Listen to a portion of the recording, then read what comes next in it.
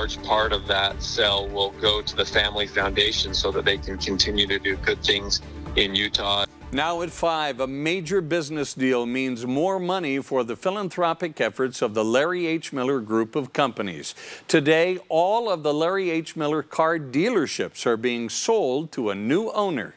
An Atlanta based automotive group bought the 61 dealerships and 11 collision centers for $3.2 billion. That's a lot of money. Fox 13 News spoke with Derek Miller. He's president and CEO of the Salt Lake Chamber about the economic impact of the deal. And while he says customers may not notice a change, employees might you got you know thousands of employees that work for this and change is hard and anything new is is difficult and so that'll be a period of transition for for all of those employees even though it's the same name on on the sign out front i'm sure there'll be some changes internally the sale comes less than a year after the Miller family sold the Utah Jazz to Qualtrics founder Ryan Smith. As the Miller family backs away from the company that made them billions of dollars, Fox 13's Haley Higgins looks at their legacy and where it may be headed next.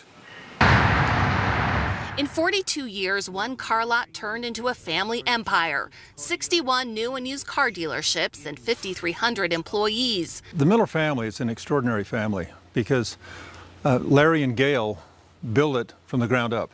The H. Miller Company also includes 17 movie theaters, and of course, the Millers were the former owners of the Utah Jazz. What they've done economically for our local community here, and also what they did, even when you look at when they took on buying the Jazz in a permanent way, and, and the risk that Larry took to make that happen. Besides the massive economic impact to the state, the Miller family also donated generously to Utah. The Miller legacy goes far more than just what they give in dollars because they're far more than just writing checks.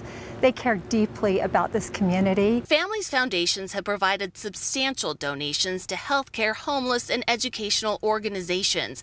They've also given 4,500 college students scholarships.